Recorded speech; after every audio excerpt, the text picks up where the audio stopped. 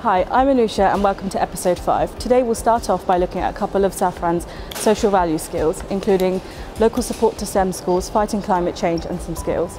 We'll start off by looking at Safran's Vibrant Apprenticeships programme and talking to some of our previous and current apprentices. Kirsten, tell us a little bit about your apprenticeship programme.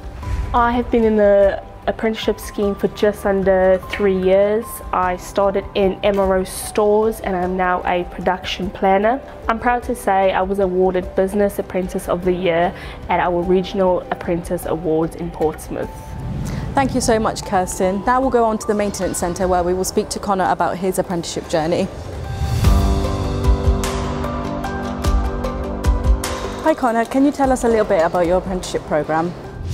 So my name's Connor Rowland. I'm the European Maintenance Centre Hub Team Leader here at Safran Helicopter Engines UK. I completed my apprenticeship with Safran around seven years ago now. Since then I've worked in three different departments on the shop floor and I've recently become the Team Leader for the Maintenance Centre.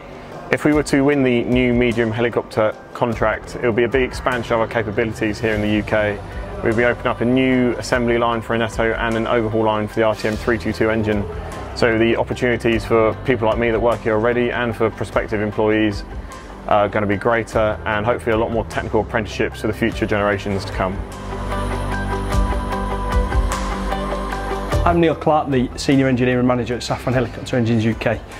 During the pandemic, a group of us used the opportunity to train as STEM ambassadors and now with the easing of restrictions, um, we've been able to put that to good effect uh, and get ourselves into schools in the community.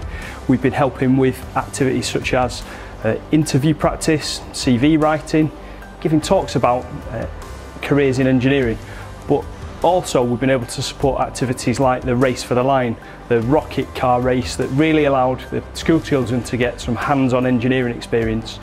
I'll now hand you over to uh, the Customer Support Director and our resident environmentalist, Robin.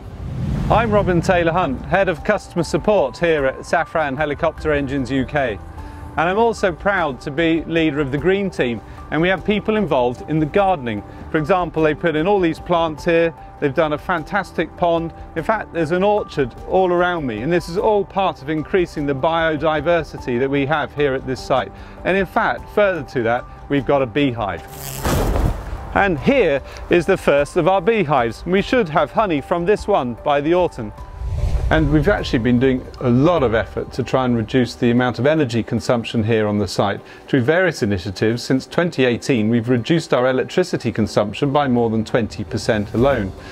We're now working with a lot of helicopter operators to try and help them start using sustainable aviation fuel. Our helicopter engines can operate with up to 50% sustainable aviation fuel in the mix and we've gone further. Here at this site all of our helicopter engines are tested now using that mix of 50% sustainable aviation fuel as part of the standard fuel mix and that's been operating that way since January this year.